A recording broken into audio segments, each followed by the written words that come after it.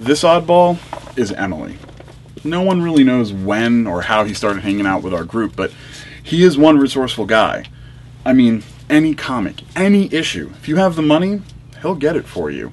He comes here every Wednesday and buys one of every comic that comes out. Rumor has it, his basement contains more comics than a Comic Con. It's a proven fact.